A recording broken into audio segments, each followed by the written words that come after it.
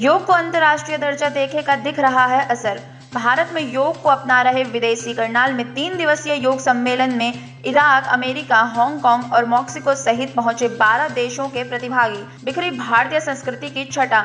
जिस प्रकार प्रधानमंत्री मोदी अपने राज्य के दौरे पर दौरान भारतीय संस्कृति का परचम लहरा रहे हैं, उससे विदेशियों में भी भारतीय संस्कृति और परंपरा को जानने की उत्सुकता तेज़ी से बढ़ी हुई है। प्राचीन धरोहर योग को अंतर्राष्ट्रीय दर्जा देने का असर अब दिखने लगा है। विदेशियों में भारतीय योग के प्रति दिलचस्पी किस कदर बढ़ी है, इसकी बनामी करनाल को देखने को मिली, जहाँ America, Mexico, Peru, Hong Kong और थाईलैंड सहित 12 देशों के प्रतिभागी दूसरे अंतर्राष्ट्रीय योग सम्मेलन में हिस्सा लेने पहुँचे। यही नहीं, इराक और मुस्लिम देश में भी अनेक प्रतिभागी योग सम्मेलन में भाग लेने पहुँचे हैं। इनकी योग कला को देखकर हर कोई आश्चर्यचकित है। वृक्षासन से लेकर ब्रिजासन मंडुकासन जैसे कठिन योग क्रियाएँ को भी प्रतिभाग ऐसे कर रहे हैं। मानो इन्हें इनमें महारत हासिल हो।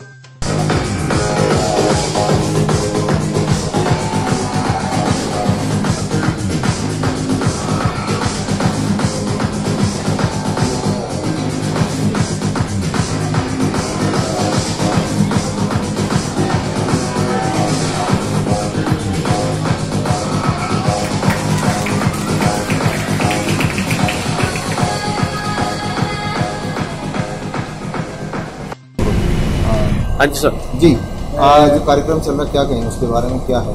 ये हम yoga sports federation of India अपना दूसरा इंटरनेशनल योगा स्पोर्ट्स कप करवा रहे हैं। ये हमने पिछले साल शुरू किया था इंटरनेशनल लेवल का कंपटीशन करवाना योग में क्षेत्र में। पिछली बार हमने first Asian yoga sports cup करवाया था 2018 दो से लेके तीन चार नवंबर 2018 को यही होटल प्रेम प्लाजा में।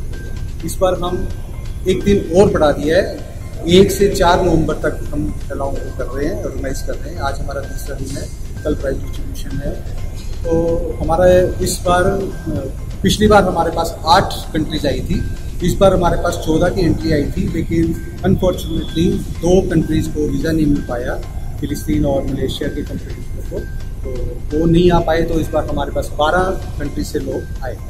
ठीक है तो इसका मकसद क्या है सर? मकसद हमारा ये है कि बच्चों में योग की भावना जागृत करना। क्या होता है कि अगर आप किसी बच्चे को, छोटे बच्चे को बोलोगे कि बेटा योग कर तो कहेगा मुझे क्या मिलेगा? आप कहेंगे, हेल्थ इशू अच्छा होगा हेल्थ आपको मिलेगी, आपका दिमाग बड़ा होगा, आप पढ़ाई में अच्छा करोगे, लेकिन वो इस बातों को नहीं समझ पाएगा, क्योंकि उसका माइंड खेलने की तरफ़ है। तो हमारा यही मकसद है कि हम योग को एक खेल के क्षेत्र में विकसित करें, ताकि बच्चे को मेडल मिले सर्टिफिकेट्स मिले, और गवर्नमेंट ऑफ़ इंडिया से मैं रिक्वेस्ट करूँगा कि हम योग को स्पोर्ट्स में दर्जा दें, ताकि बच्चों को स्कूलों से, और कॉलेज में, और जॉब में मिले रिजर्वेशन मिले जैसे अन्य गेम्स को मिलता है तो हमारी आ, मैं अपने इंडियन गवर्नमेंट से रिक्वेस्ट करूँगा कि योग को वो इतना नरेंद्र मोदी जी आए हैं अब इतना कुछ योग के क्षेत्र में कर रहे हैं उन्होंने योग डे बनाना शुरू किया इतनी कंट्रीज़ में योग को फैलाया तो हम लोग भी उन्हीं के कदम चिन्हों पे चल रहे हैं। हम भी वही काम कर रहे हैं कि योग को बढ़ा रहे हैं। तो सिर्फ़ हमारा मकसद यही है कि योग थोड़ा सा गवर्नमेंट एक और काम करते कि योग को स्पोर्ट्स के दर्जा दे दें ताकि बच्चों को पूरा बेनिफिट मिल पाए।